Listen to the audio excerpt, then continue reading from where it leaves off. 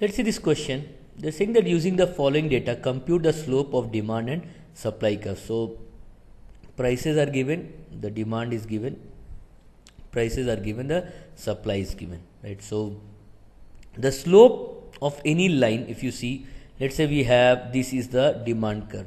So how do we get the slope of any line? We need to know two points. Okay, so this is one point.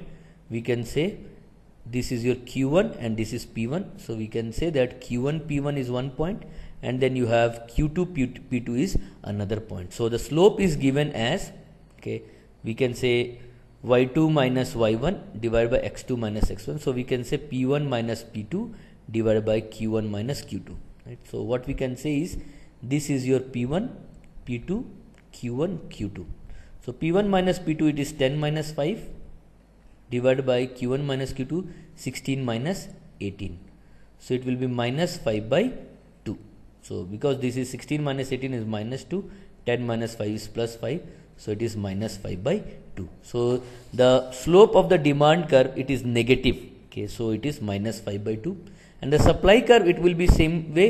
We can say it is p1 p2 q1 q2 so we can say p2 minus p1 by q2 minus q1 that is 15 minus 10 divided by 8 minus 4 so this is plus 5 and this is 4 so it should be actually 5 by 4 so the answer should be actually